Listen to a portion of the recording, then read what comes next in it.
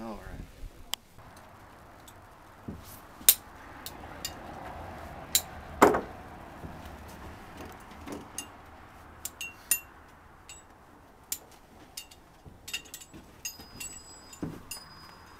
Right now, they're, just, they're bringing up all their safeties lines, and his line he's going to rappel down.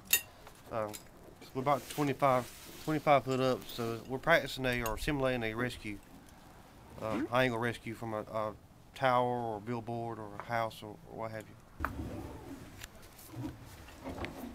The, the blue line will be his main line going down. Okay. This the purple and yellow line will be the be his safety line. If something was to happen with his main line, we'd have Right. backup with safety. Oh, great. Okay. It's something new for the county. Something we're trying to get into. Uh, in part of our technical rescue responses and stuff. Um, everybody's ca- uh, used to the vehicle extrications, but other rescues we have to perform now. You know, it's coming to light. Uh, high angle trench structure. All right. So we're uh, this is just one step further in, in education. I can stop you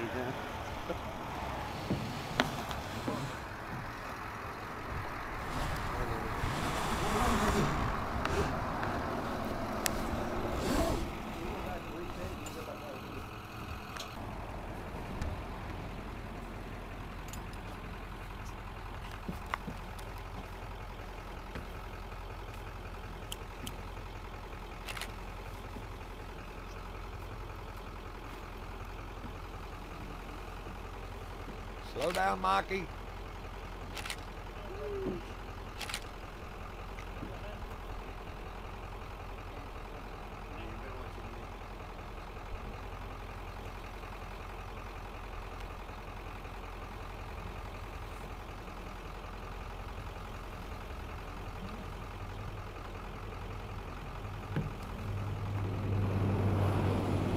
So how was it? Good. Cold. So this is part of your routine that y'all do? Yes. How often? Not often enough. All right. And what do you call this? A rappelling exercise then? That's what. Yes, ma'am. On the drill tower. On the drill tower. All right. Thank you, Mike. You're welcome. Oh, we're going to practice on the car. We contacted Fullwoods, our neighborhood record service garage. They roll us the car out in less than 30 minutes.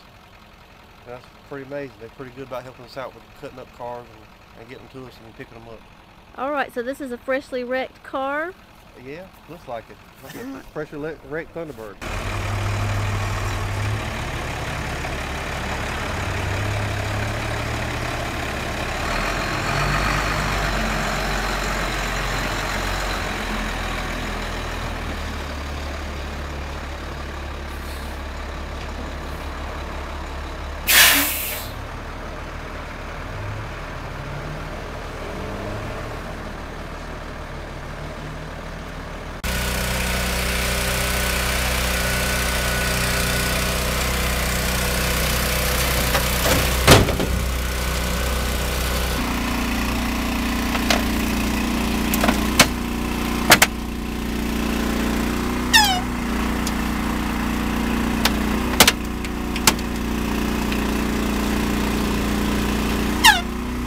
Little technique we learned how to get access to our freight hinges on the door. You crush, crush the fender down, it opens up an area.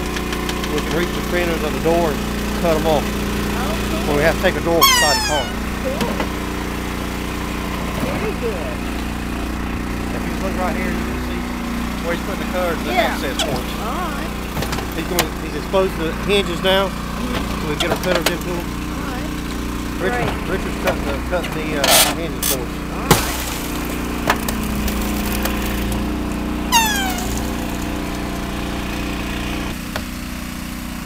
So now he has the front of the door is loose. Only thing holding now is where it's hooked on the nader pin, and they'll take that off.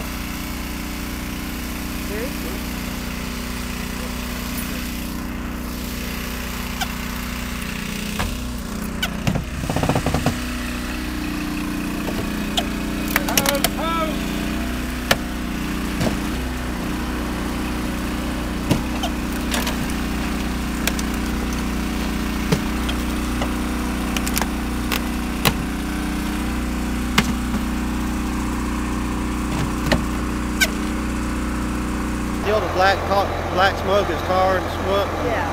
There's probably a hundred different gases in, mixed in that smoke. Any of them can can uh, can injure you or badly or hurt or kill you. That's why they're they're wearing their SCBA's. All right.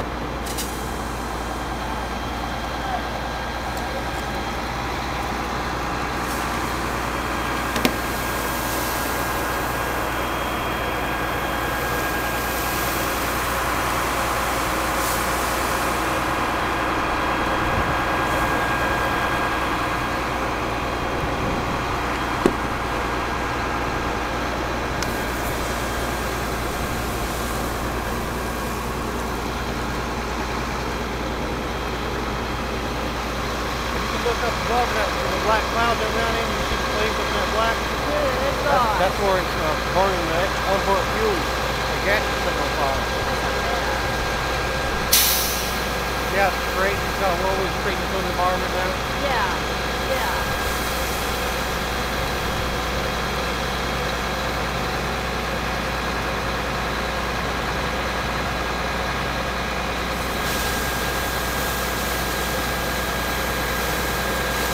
Once the water hits, it starts turning to steam. It'll put the fire out faster. Water's actually dropping, turning to steam. And it Yeah. helps to put the fire out.